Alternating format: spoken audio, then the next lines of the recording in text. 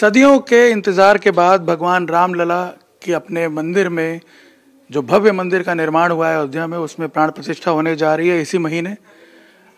इस विषय पर और पूरे आंदोलन पर जो राम जन्मभूमि मुक्ति आंदोलन चला इतने सालों तक, उस पर बात करने के लिए हमारे साथ इस आंदोलन की शुरुआत से जुड़े सबसे प्रबुद्ध और विशेष व्यक्ति पद्म विभूषण जगत गुरु रामानंद आचार्य, स्वामी रामभद्राचार्य जी हमारे साथ हैं।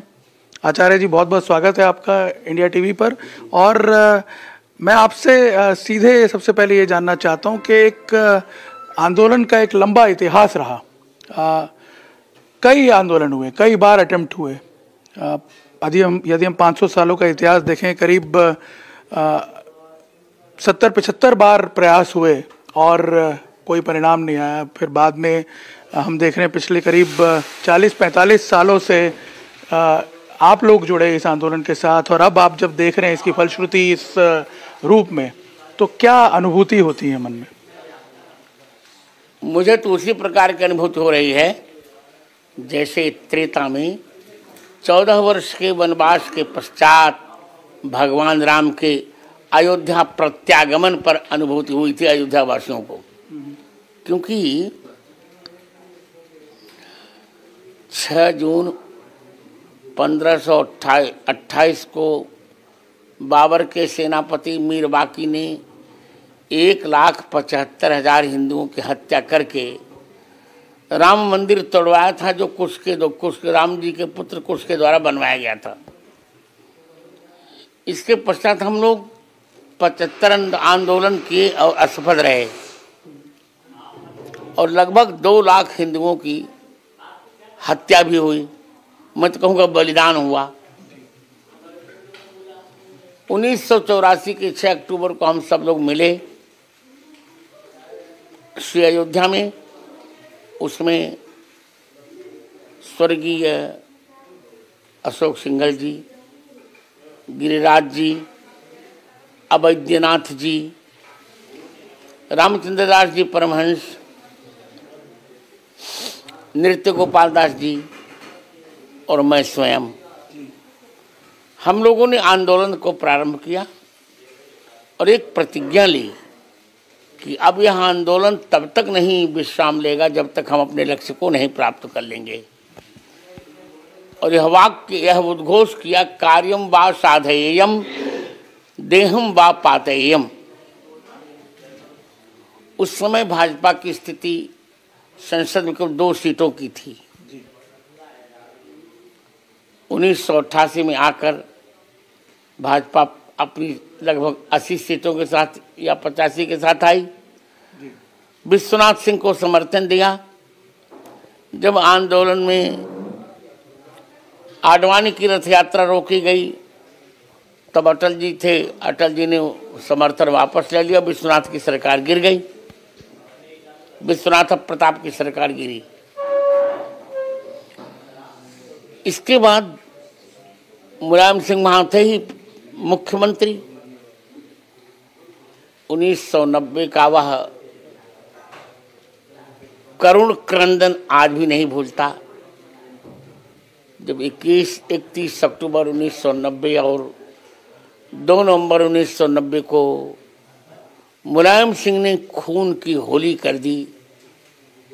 निहत्थे राम भक्तों पर गोली बरसाई गई और सरजू माता निहत्थे राम भक्तों के खून से लाल हो गई।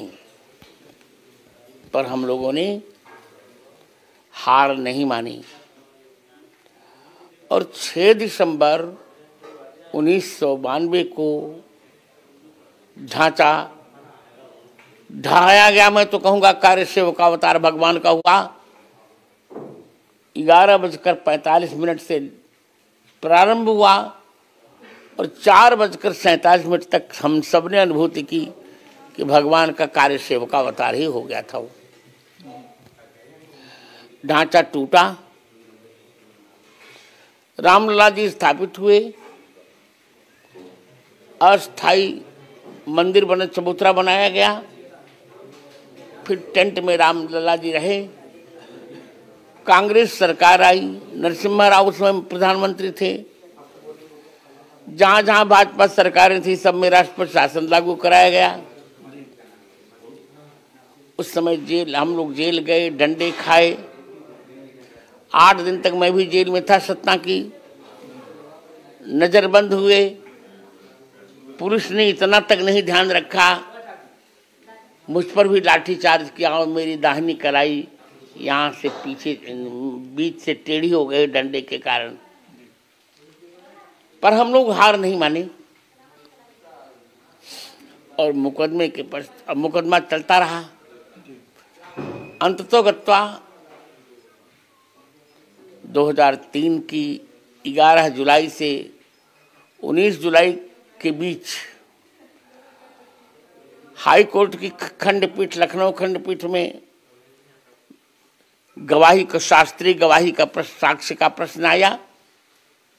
सारे मठाधीश मन, मंदिराधीश और सामने पर बोलूँ शंकराचार्य सब मन, मना कर दिए। मैंने कहा मैं वशिष्ठ गोत्री ब्राह्मण हूँ। मैं कोर्ट में उपस्थित होऊँगा और दूँगा साक्ष्य। कोर्ट ने पूछा आपको तो दिखता नहीं आप क्या साक्ष्य देंगे? मैंने कहा, आप कौन सा साक्ष्य आप लेना चाहते हैं? कोर्ट ने कहा, शास्त्र का। मैंने कहा तो शास्त्र के लिए भौतिक आँखों की आवश्यकता नहीं होती। सर्वस्वलोचनम शास्त्रम, ये सेनास्त्यंधे सात दिन तक हमने साक्ष्य दिया। हमने चार सौ इकतालीस प्रमाण दिए थे राम जन्मभूमि के पक्ष में। और जब उत्खनन हुआ तो चार सौ सैंतीस प्रमाण तो हमारे लिए यथावत निकले। चार प्रमाण धूमिल थे वो भी मेरे पक्ष में ही गए। अंत में उच्च उच्च न्यायालय ने जो निर्णय दिया, उसमें भी हमारी जीत हुई।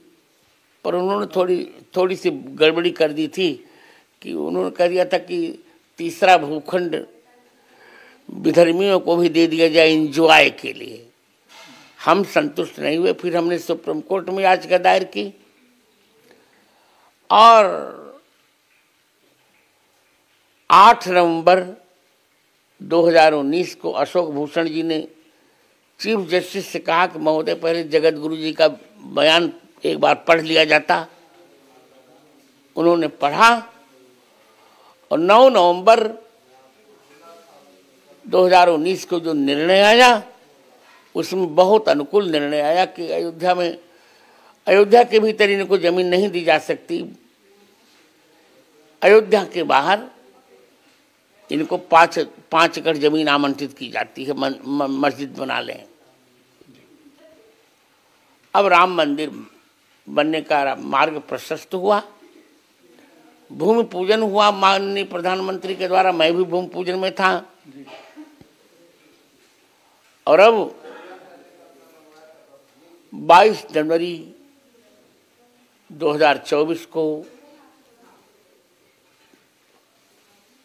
अब बारह बजकर अपराह्न बारह बजकर उनतीस मिनट पर पुनर्वसु नक्षत्र में भगवान राम प्राण प्रतिष्ठा के विधान से अपने गर्भगृह में प्रवेश कर रहे हैं। तो मुझे तो वही प्रसन्नता हो रही है जो मानसकार ने भगवान राम के प्रत्यागमन के संबंध में कहा था सगुन हो ही सुंदर सकल, मन प्रसन्न सब केर, प्रभु आगमन जनाव जन नगर रम्य चौफेर गुरु जी। एक चीज़ मैं जानना चाहता हूँ इसी उपलक्ष्य में कि जब पहले जाते थे अयोध्या भक्तगण तो वहाँ देखते थे उस विवादित ढांचे को या खंडित जो पूरा पड़ा हुआ था तब उन्हें जो अनुभूति होती होगी शायद उसमें द्वेष होगा उसमें आ, आ, पीड़ा पीड़ा भी होगी। लेकिन अब जब वो देखेंगे इस भव्य मंदिर को इस दिव्य मंदिर को तब आप क्या मानते हैं? किस प्रकार का भाव उनके मन में वही तो वही उत्तर मैंने आप दे दिया। त्रेता में जैसा राम जी के लौटने पर भाव हुआ था अयोध्या वासियों को वही भाव होगा। एक बात मैं और बीच में कह लूँ निर्णय जी ये राम मंदिर देखने में लग रहा है राम मंदिर है।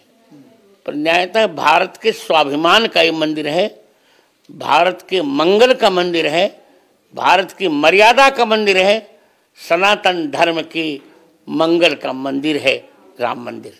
बिल्कुल जैसे कि कहा जाता है ना वर्षों की जो गुलामी रही उस उस मानसिकता ने हमारे जो आ, एक तरह से सामाजिक जीवन में एक विग्रह पैदा कर दिया था। आपको क्या लगता है? अब इस मंदिर के निर्माण के बाद किस प्रकार का आ, के समाज का निर्माण आप होते हुए देख रहे हैं? हम तो अच्छा देख रहे हैं और राम विरोधी जाने वो क्या चाहते हैं? हम तो यही कह रहे हैं कि हमको तीन स्थान तो चाहिए ही चाहिए। अक्षर क्रम से अ का म। अ से अयोध्या हमें चाहिए वो मिल गई। का से हमें काशी विश्वनाथ चाहिए और म से मथुरा कृष्ण जन्मभूमि चाहिए। अब उस दिशा में भी हम देख रहे हैं कि कार्य प्रगति पे आप क्या मान रहे हैं? क्या इसके बाद जो लक्ष्य है आगे। हम सफल होंगे।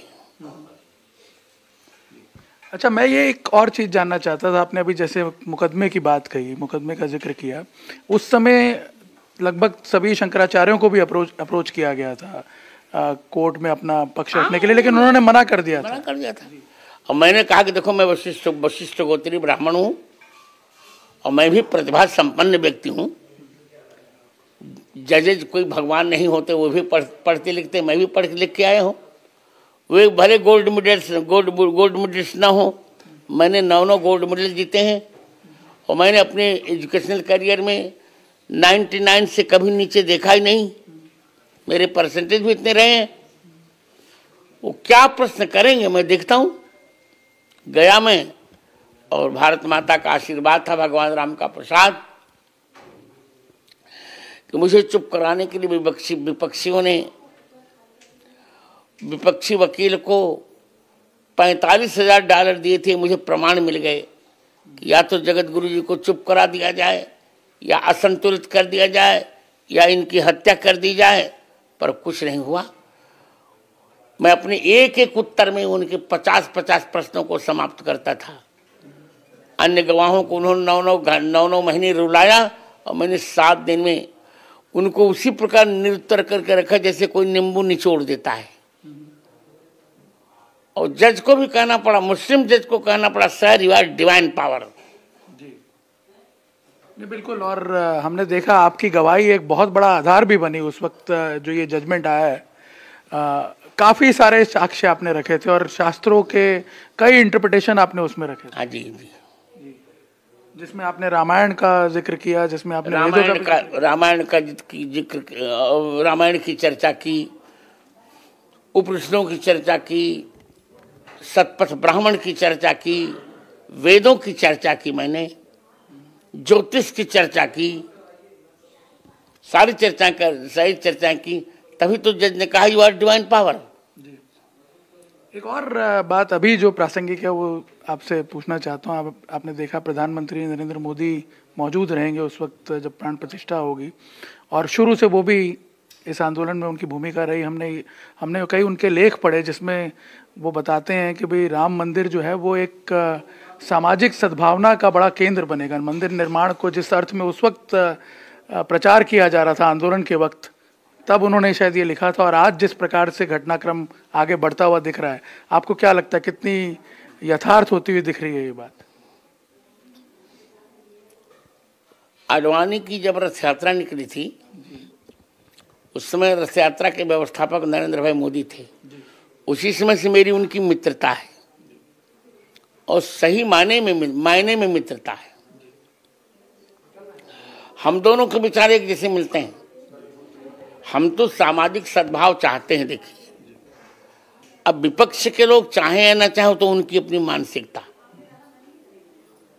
हम तो कह ही रहे हैं कि श्री राम सबके श्री राम समाज के श्री राम संपूर्ण राष्ट्र के हमने कभी भी ऐसा कुछ सोचा ही नहीं। हम तो कह रहे हैं, महा, महाराज, अब कीजिए सोई, सबकर धर्म सहित हित हुई। सबका हित होना चाहिए पर धर्मानुमोदित हित होना चाहिए। और अभी आप देखिए आप बता रहे हैं खुद प्रधानमंत्री जब अभी गए थे अयोध्या तीस तारीख को तब उन्होंने कहा भी कि 140 करोड़ देशवासियों को एड्रेस करते हुए कहा कि सभी उस दिन अपने अपने घरों में दीपक जलाएँ। कहा राम ज्योति जलाएँ नहीं तो ये भी एक तरह से जो आप कह रहे हैं उसी बात का अनुमोदन कर निश्चित निश्चित नो डाउट तो स्वामी जी, मैं एक और आपसे बात जानना चाहता हूँ कि जब हम भगवान राम के राम के स्वरूप की बात करते हैं, पहले तो मैं आपसे जानना चाहता हूँ कि आप किस फॉर्म में उन्हें देखते हैं? आपके मन में किस प्रकार का स्वरूप जो है वो अंकित होता है? देखिए पहली बात, ये अनुभूति का विषय है। इसको रियलाइज़ किया जा सकता है, कहा नहीं जा सकता। हम तो बहुत प्यारा रूप देखते हैं। हम देखते हैं एक सुंदर सा बालक, नीले बादल के समान सुशोभित मधुर मधुर मुस्कान, उखड़ा हुआ, उखड़े हुए उभड़े हुए कपोल घुघरारी लटे मंद मंद स्मित प्यारी प्यारी चितवन पीताम्बर नीले शरीर पर इतना सुंदर जैसे तीसी के फूल पर कोई सरसों के फूल का पराग लेप दे तो हम तो बहुत सलोना स्वरूप देख रहे हैं। और शायद उसी उसी स्वरूप में जो प्रतिमा अब स्थापित होने वाली है ओ, वो श्याम वर्ण की ही है। हाँ निश्चित रूप से। तो आप क्या मानते हैं? मतलब जो कल्पना आप कर रहे हैं वही कल्पना नहीं कर रहे हैं कल्पना भावना कर। रहे हैं जो भावना है आपकी वही साकार होगी। हाँ देखिए कल्पना और भावना में एक अंतर पहले समझ लेना चाहिए। कल्पना निराधार होती है और भावना में शास्त्र प्रमाण होते हैं। श्री राम के प्रथम स्वरूप का वर्णन महर्षि वाल्मीकि ने किया। वाल्मीकि रामायण के बालकांड के प्रथम सर के ग्यारहवें श्लोक में नारद जी कहते हैं समह समय विभक्तांग स्निग्ध वर्ण प्रतापवान। भगवान राम का स्निग्ध वर्ण है। तीसी के फूल के समान वर्ण है। नीले बादल के समान वर्ण है। नीले कमल के समान वर्ण है। नीली मणि के समान वर्ण है। और यमुना जल के समान वर्ण है। और मयूर के गले के समान भगवान राम का वर्ण है। ये भी एक संयोग है गुरुजी के। आप भी अब अपने अमृत काल में प्रवेश करने जा रहे हैं। हाँ, वही देश भी देश भी अमृत काल में है। आ, क्या मानते हैं? कितना ये, ये आपके आंदोलन का भी एक कोइंसिडेंस देखिए। मेरा मेरा अमृत महोत्सव तो रामलला ही मना रहे मैं ऐसा मानता हूँ। हमारे युवराज यदि मेरे उत्तराधिकारी वहीं अयोध्या में है भी और बहुत खर्च हो रहा है मेरे अमृत महोत्सव में। हमने तो मना किया था, सबने, बच्चों ने कहा, नहीं नहीं, अब रामलला जी की आपने गवाही दी है, आपकी गवाही से रामलला जी का निर्णय आया है। तो अब रामलला जी की प्रेरणा, रामलला की प्रेरणा है तो मन दिया जाए, मैं कह, चलो, आनंद करेंगे, हम भी हम भी भगवान राम के सामने वर्ल्ड, बर्थडे बॉय बन जाएँगे, क्या बिगड़ जाता है? बिल्कुल। तो हम देख रहे हैं पूरे देश में उत्साह है सभी लोग प्रफुल्लित हैं कई तरह की भेंट सौगात लेकर के अयोध्या पहुँच रहे हैं जगह जगह से हम देख रहे हैं इस तरह की जो खबरें आ रही हैं। आप जब जाएँगे क्या आपने कुछ सोचा है किस प्रकार? क्योंकि आपने इतनी बड़ी भेंट तो ऑलरेडी दे दी है। दे दी आंदोलन के फॉर्म में। शास्त्रीय भेंट मैंने दे दी है। मैं नौ दिन वहाँ रहूँगा। तेरह को मैं उपस्थित हो जाऊँगा। मेरा यज्ञ चल रहा है। और मैंने तो अपने को ही दे दिया। वो अपने क्या बल जाऊँ न्योछावर प्राण करें तुलसी बल जाऊँ लड़ाई बोलन की। जब अपनी अपने को ही दे दिया तो क्या देना आवश्यक रहा मेरे लिए? अच्छा अब हम एक देख रहे हैं कि जिस प्रकार से ये घड़ियाँ नज़दीक आ रही हैं चित्र भी बदल रहा है। अगर आप राजनीतिक परिप्रेक्ष्य में भी बात करें जो जो विपक्ष पहले मानता नहीं था राम के अस्तित्व को ही नहीं मान रहा था अब वो कह रहा है कि राम तो सबके हैं और आप देख रहे हैं कि किस प्रकार से टोन चेंज हो रहा है? सब ये अवसरवादी मेढक होते हैं। अवसरवाद इनका है क्योंकि राम जी का विरोध करके, सनातन धर्म का विरोध करके आप जानते हैं, तीन राज्यों में हार गए। उदय निधि ने जब सनातन धर्म का विरोध किया था तो पहली बार मैंने खंडन किया था। कोई शंकराचार्य नहीं बोला। मैंने बल्कि कहा भी कि शंकराचार्यों की भूमिका होती क्या है, वो हमें बताएँ। मैं भी रामानंदाचार्य हूँ। क्या भूमिका है शंकराचार्य क्यों क्यों पूजवाना? शंकराचार्य की भूमिका यह है कि जब जब सनातन धर्म पर कुठाराघात हो तब तक वो बोलें विरोध करें मुखर हों। पर केवल मैं मुखर हुआ। और मैंने कह दिया था कि सनातन धर्म का विरोध करने वालों को दंड मिलेगा और चुनाव ने दंड दे दिया। 2024 में भी दंड मिलेगा। अच्छा। मिलेगा मिलेगा। तो इससे अगर बचना है तो विपक्ष को क्या एडवाइस क्या करेंगे आप? विपक्ष कुछ समझने को तैयार नहीं मूर्ख हृदय चेत जो गुरु मिले बीरेन से उनको क्या एडवाइस जिस हिंदू राष्ट्र की हम कल्पना करते हैं जिस हिंदू राष्ट्र का हम सपना देख रहा है देश आप क्या मानते हैं क्या उस काल का प्रारंभ हो चुका है? हिंदुओं के उत्कर्ष का प्रारंभ तो हो चुका है। अब हिंदू राष्ट्र बनेगा कि नहीं बनेगा तो संविधान की स्थिति है पर हम इतना मानते हैं कि अब हिंदुओं का हम लोगों ने बहुत अपमान सह लिया। अब हम प्रत्येक अपमान के बदला लेने की स्थिति में बदला लेने की स्थिति में आ गए। प्रत्येक अपमान का बदला लेने की स्थिति में हम आ गए। तो ये जो प्रेजेंट जनरेशन है हाँ जी। अ, मैं आखिरी सवाल आपसे पूछ। हाँ जी। जो प्रेजेंट जनरेशन है जिसने इस पूरे कालखंड को नहीं देखा है आंदोलन के आज वो उसका जो फलश्रुति है वो देख रही है। उसके लिए क्या मैसेज है आपका? मैं उसके लिए वो शायद इसकी तीन- इसकी गंभीरता नहीं समझते। तीन बातें।